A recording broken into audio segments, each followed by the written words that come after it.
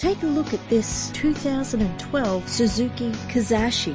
This Kizashi has a reliable 2.4 litre engine and a smooth shifting automatic transmission. The attractive white exterior is complemented by its stylish interior.